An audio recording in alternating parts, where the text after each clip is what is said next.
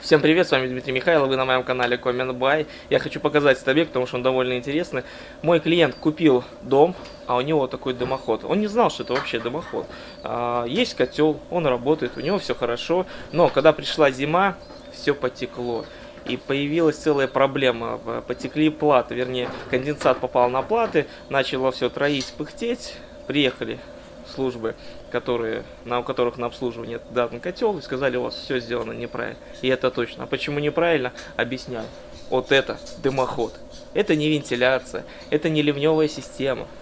Вот это дымоход. Вы представляете? Дымоход для кондиционного газового котла.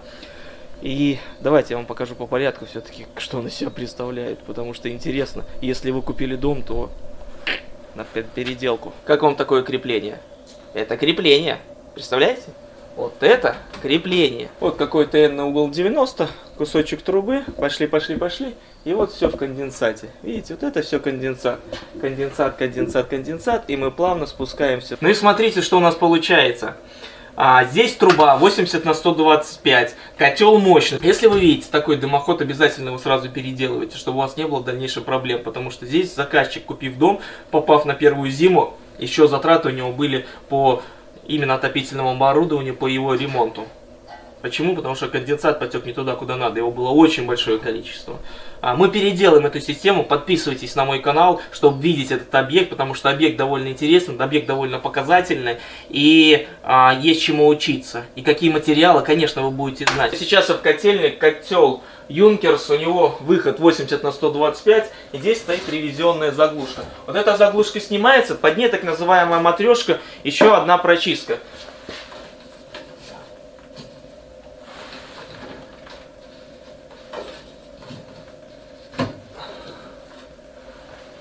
Вот такая прочистка, все, конечно, в конденсате, видите, да, все течет. То есть, ну, это, это не, не должно так быть. Ну да, конденсат он будет образовываться в этом месте. Уклон сделан правильно, это еще слава богу, что уклон сделали в сторону котла. Но его такое количество было, что просто за, начало затекать все на котел. Произошел просто перелив. То есть вот эта 80-я труба, отсюда поступает воздух. И проблема в чем была? Когда я первый раз сюда переезжал, здесь все было в воде стояло.